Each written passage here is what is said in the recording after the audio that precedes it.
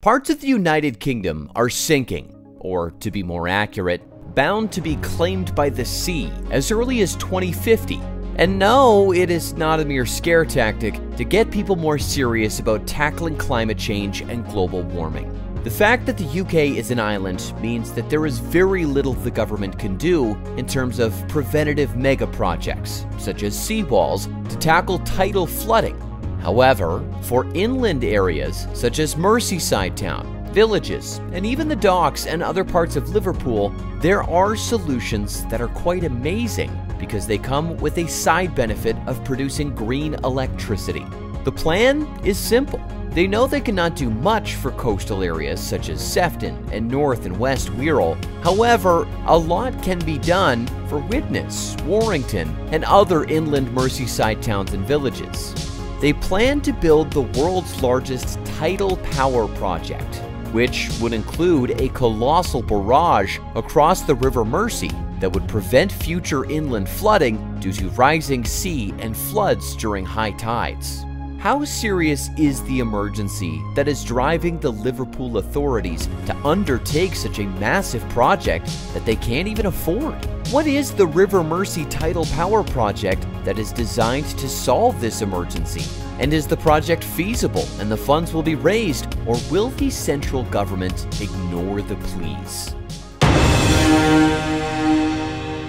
It is quite tragic that many Merseyside towns and villages are set to vanish by 2050. Accurate research and studies show that places such as Sefton, Wirral, and Warrington could be entirely submerged, while Liverpool's historical docklands, golf courses, and even planned football stadiums could also become obsolete due to extreme tidal flooding.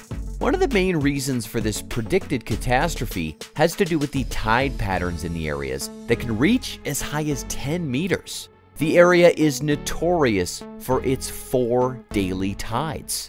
This means even a few centimeter rise in sea levels in the Irish Sea can cause dramatic sudden flooding in low areas in Merseyside and as far inland as the Mersey River goes.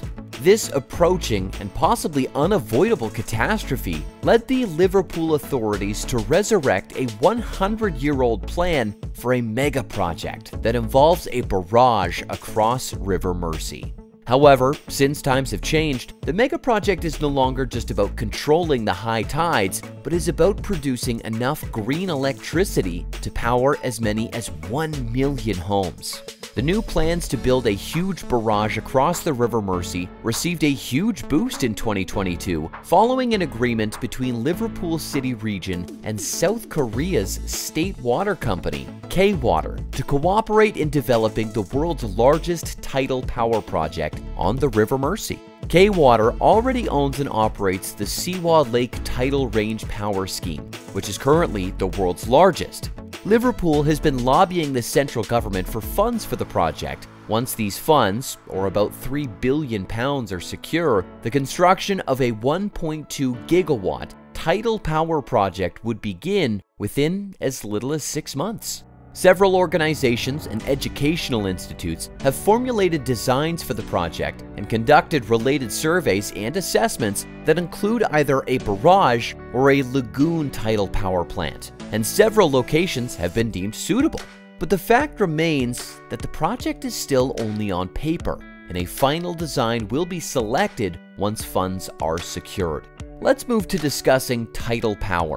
You are probably wondering what tidal power is how it works, and whether it is as good as or better than wind and solar power.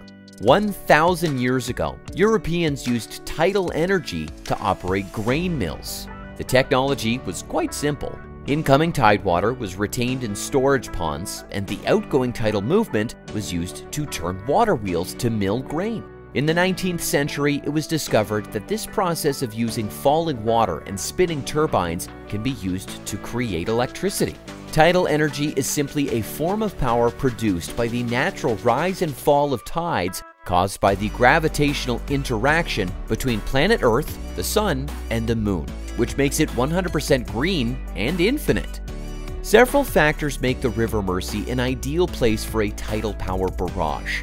For example, its tidal range, which is the difference in water level between high and low tide, can be 10 meters or more at spring tides, while the narrow channel at its entrance, known as the Narrows, means the barrage could be shorter and thus cheaper to construct. Additionally, it is within proximity to a large urban area, with lots of electricity demand, hence it can be feasible and profitable despite the predicted high construction costs. Experts say that such a facility can produce up to 1.5 terawatt hours of electricity each year, which is enough to supply electricity to all the homes in the city of Liverpool and the surrounding area. The choice of a tidal barrage is ideal for the location, hence it will also act as a seawall during tidal floods and also mitigate the negative effects of rising sea levels. The planned barrage would act like a dam that is built across the rivers. Turbines inside the barrage enable the basin to fill during incoming tides and release through the system during outgoing tides, generating electricity in both directions. It operates almost exactly like a river dam in capturing the power in the surrounding water. The technology is already tried and has evolved quite a bit in the past few years.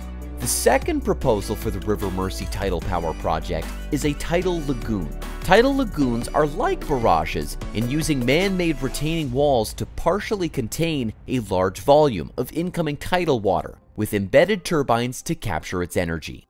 However, it is unlikely that the lagoon concept would be adapted since it is sort of unproven on a large scale, with no current examples in operation, even though a few are under development in China and North Korea. Mind you that eight lagoon tidal power projects are currently proposed on the west coast of the UK. However, concerns regarding potential environmental impact and cost are still obstacles. Another factor is the lack of interest by private corporations which do not see profits in such power projects. We do have to say here that since such schemes are designed to also protect large swaths of land from tidal flooding and potential catastrophes as sea levels rise, the financial burden falls on the central government. Nevertheless, it is widely expected that both governments and private corporations will increase spending in this field as ocean industries grow. Such industries include aquaculture, ocean mineral mining, and oceanographic research.